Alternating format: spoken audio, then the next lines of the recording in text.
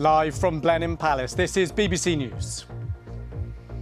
UK Prime Minister Keir Starmer hosts nearly 50 European leaders promising a reset of relations in the birthplace of Winston Churchill. We will strengthen our existing relationships and we will build new ones. This includes resetting our relationship with the EU.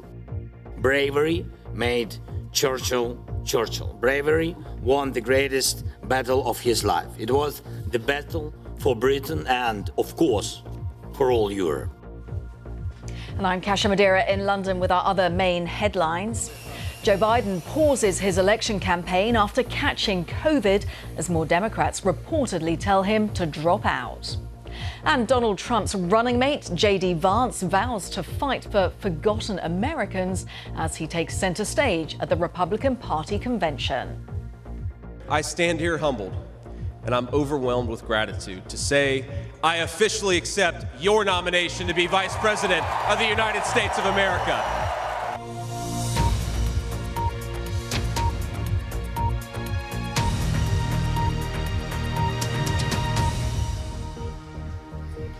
Hello, welcome to Blenheim Palace in Oxfordshire in England. It's a day for sun cream and diplomacy.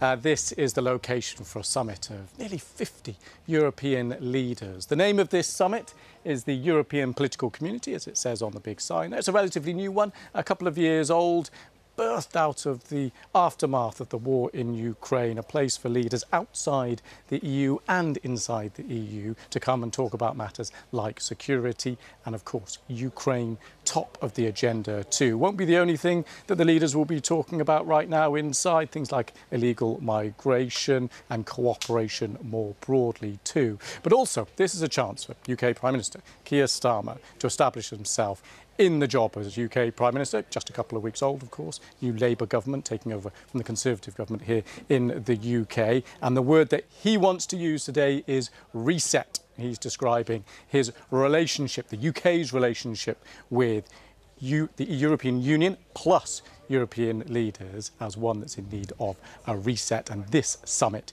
is a very public way to do just that. He opened the session um, just an hour or so ago. Let's take a listen. I'm not driven by ideology, but by what's best for my country.